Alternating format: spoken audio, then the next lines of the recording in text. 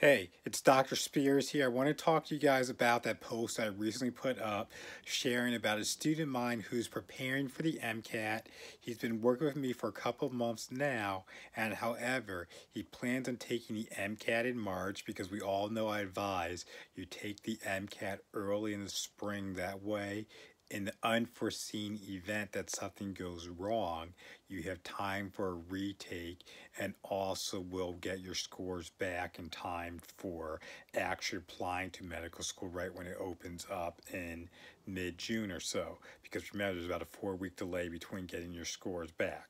However, another point I would like to make though is the students I work with, and if you're just hearing this video for the first time or if you heard me around before, you know what my number one mantra is. The MCAT's a test you want to take once and only once. And that's actually the words from one of my mentors. He's an MD, PhD, used to be on admissions committee at the University of Chicago, Pritzker School of Medicine, so he knows what he's talking about. And you guys need to keep that in mind too while you're preparing for the MCAT because this really is a make or break test that's going to decide whether you get into medical school or not because no matter what you've heard, what other people tell you, the MCAT is the number one factor that medical school admissions officers use when they're going to decide who they're going to admit to medical school because it's an easy way to make an apples to apples, oranges to oranges comparison of applicants because if I'm an ADCOM member, you go to school over here, you go to the private school over there, you go to the state school, public university, and you have all these different grading um, scenarios in play, and I'm just not going to know the difference between certain GPAs. Yes, I'm going to know the difference between like a 3.9 versus a 2 eight or so, yes, that's very obvious. But once you start getting up there, when everybody who's applying and gets into medical school is at a 3.7, it's really hard to slice and dice those numbers. But that MCAT, that percentile, that really stands out and allows us to really um, see where you actually stand in comparison to everybody else who's applying to medical school. And that's what you need to keep in mind. It's not just about you. A lot of students think, oh, I need to do this. I need a chance to show ADCOMs. I have what it takes to get into medical school.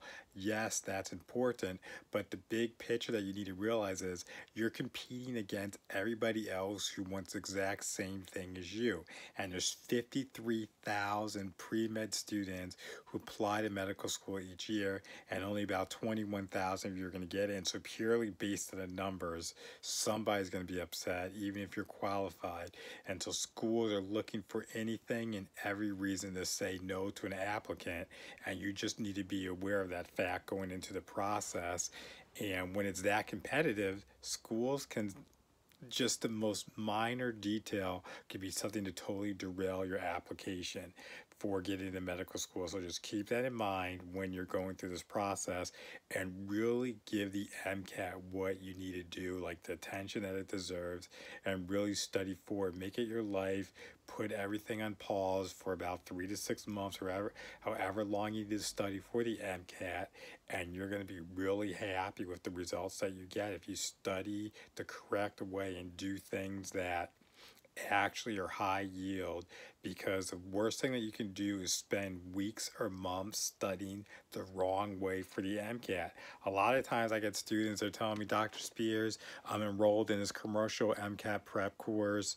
They're, I'm doing everything they tell me. I'm doing all the assignments. I'm doing the readings, watching the videos, doing the problems, but my score isn't improving. Right now, I'm not even a competitive applicant. I'm at a, like a 502. Let's say I'm 502 or so. I need to be at a 510, 511 just to even really be competitive for getting into medical school. I just don't know what's going on. I'm doing everything and it's not working. And that's the problem with a lot of these MCAT prep courses is they teach you the science, the social sciences, and all the things that you need to know for the test. They teach you the content. However, that's only half the battle. The other battle is being actually knowing how to actually apply that content on the actual MCAT because the MCAT is unlike any test you've ever taken before. It is not a memorization test. If that was the case, I would say, okay, if you study XYZ amount of hours, I know you're going to get the score because it's just purely based on memorization. Or if you memorize XYZ amount of facts, then this is a score you're going to get because I know that this is just how the um, the scale works for memorization and how it correlates to an actual MCAT percentile. But that is not the case. I'm sure you guys would love if that was the case, but that's just not how it works. And unfortunately, your pre med classes are teaching you the wrong way to prepare for a career in medicine. Because what do you do in, in pre med classes? It's like go to class, go to lecture, go over the PowerPoint, do the reading, do the problem sets, take a test. That works. You usually can do well doing that because the professor at that level, they're just saying, Are you coming to class? Are you doing the work? And I want to know if you're doing that. And then if you do that, you're going to get a decent score for the most part. However, when you're taking these standardized board type tasks like the MCAT, it's a totally different ball game. It's not about did you show up and do the work. It's about do you actually know the underlying concepts and can you apply these concepts to novel problems and situations that you haven't seen before. That's what the MCAT's really getting at. They want to know are you critical thinker, not can you memorize the um, Krebs cycle um, what is I'm so far removed from thing I'm forgetting the name of that chemistry um, scale with all the um, things on there. It's, the name will come to me, but that's beside the point. So that's what you just need to know. See, you don't even need this in medicine. I don't even remember that. I, obviously, I know certain things like how they work and stuff like that, but I'm getting ahead of myself there. I just had a loss of thought, so I'm going to come back to that. But the MCAT and other tests like their critical thinking skills, because think about it, you have a patient comes into the hospital, the emergency room or something like that. You have to quickly um, do a history physical and then come up with your differentials. What's the most likely thing that this patient has? And not only what's the most likely thing this patient has, what's the thing that's going to kill this patient first because you can't miss that. And then you just work your way down. And so you can't just memorize things because patients don't present in textbook classic scenarios. And that's what the MCAT wants you to know. Can you kind of reason think outside the box when you're um, approaching patients and clinical medicine because that's all that it is that you're going to be doing for the rest of your career. And so the MCAT's really just a gatekeeper. Can you get over this hurdle? Can you cross this obstacle? And if you do well, then we trust you that once you're in medical school, you'll learn the knowledge that you need to know and then be able to apply that to patients that you see in the hospital or clinic. So that's what's going on there. And so it's not memorization at all. It's thinking outside outside the box. And my course actually, I have my MCAT Mastery companion course actually teaches students how to think differently. My thing is, I'm going to teach you how to think like a doctor so that you can outsmart the test writers because there's only so many ways that test writers can make questions on certain topics. But you as a student, you just come in there like, oh, I learned this in class, how to do it that way. And the test writers, they know where you guys are learning, how you're going about it. And so they're going to throw in some wrenches, some monkeys, or whatever you want to call it, to kind of see did you just memorize it, or do you really have a true uh, in-depth understanding of this topic and can apply it to a novel situation. And so that's why when you get in, get in on the MCAT, you're taking a test and then you're like wondering like oh a lot of the questions they're different. They're different in the sense that they're charts they're graphs they're scientific experiments and it's things that you're not going to find in your textbook. You're not going to find it in the powerpoint and you just can't go and like study and learn all of this. But if you have an underlying um, foundation of knowledge then you'll be able to do what you need to do to solve these problems. And that chemistry thing I was forgetting, it came back to me. It's the periodic table. So obviously we don't use that too much in medicine. Uh, well, some things we do, um, but like electrolyte imbalance and um, renal and stuff like that, and even hyponatremia.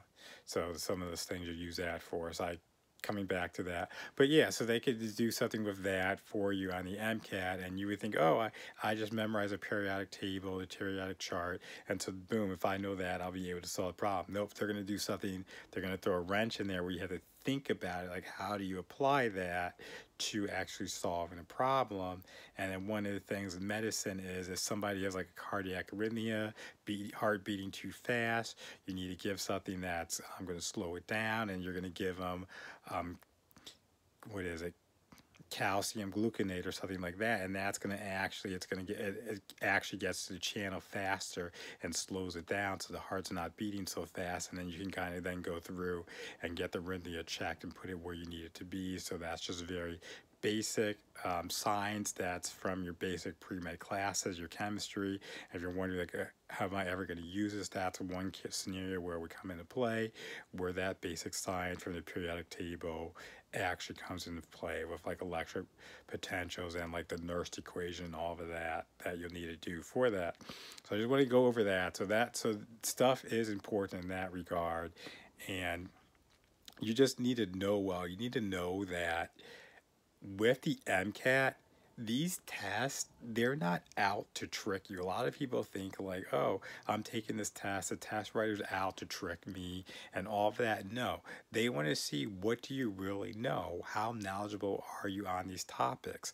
And so I give you frameworks to show your actual knowledge because a lot of times students who don't perform well, they always say this test was an adequate reflection of what I truly know what I or what I think I know. That's not the case because you have to go by what you're actually being graded on and scored on. So a lot of times like you'll be like a B or C student, let's say in your science classes, but you feel you know more and the professor really isn't testing the things that you felt are important you don't want to be in that situation. And so that's what also the thing with the MCAT is because I have a lot of times students will tell me that if they're a retaker on the MCAT, they feel the material came totally from left field no matter how much they studied, how much they prepped for it, it would not have made a difference and they're ultimately on their MCAT score. You don't want that to be happen to you. Now the student I'm working with right now well, one of them, they're getting ready to take the MCAT on Saturday. And right now it's Wednesday, and they already feel extremely confident.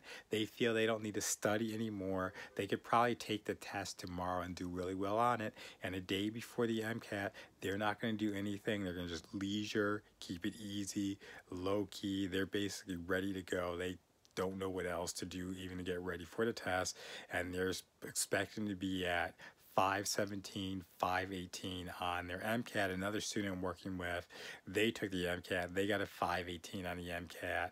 I have students who um, take the course. They've been studying for weeks, don't see any type of improvement. Then I say, hey, you need to watch this video. Look at this module here, my MCAT Master Companion course. They do that. A week later, they come back to me and they're like, Dr. Spears, I found what was in that course. I found what was in that PDF, and my score went up over eight eight points in a week. Imagine your MCAT score going up eight points in one week. That's life changing for you for your career and getting into medical school and really getting the eye of the admissions committee. So if you're on the fence and you've been studying, you're not sure if you should get my MCAT Master Companion course, you have nothing to lose. This is, a call it companion course because I'm not going to teach you the content. There's other people well versed in that. You already saw I struggle to even remember the periodic table. So I'm not going to be the best guy to remember all the content that you need to know for the MCAT. However, I'm the guy that you need when you need to know how to apply things. You need study skills, you need test taking strategies, and you really need an efficient way to prepare for the MCAT. Maybe you have a summer to get ready for the MCAT, or you're a student right now, you're in class, and you're also trying to stack on MCAT prep on top of that. So you can't play around. You have limited time, and that's what my MCAT Master Companion course is going to do. It's going to give you your positively unfair competitive advantage so that you're prepping, you're only doing the things that's going to be efficient, pragmatic, but most importantly, you're going to see a boost in your score. I say you want to study less, learn more, and score higher. So if that's you, you're thinking about got to take the MCAT, you're already in one of those review courses and you're not seeing success, then you need to reach out to me, Dr. Spears. You can find me at doctorpremed.com. And MCAT Master Companion course is what you need so that you can get a top score. You can be on the radar of ADCOMs and get into the programs and medical schools that you want. So,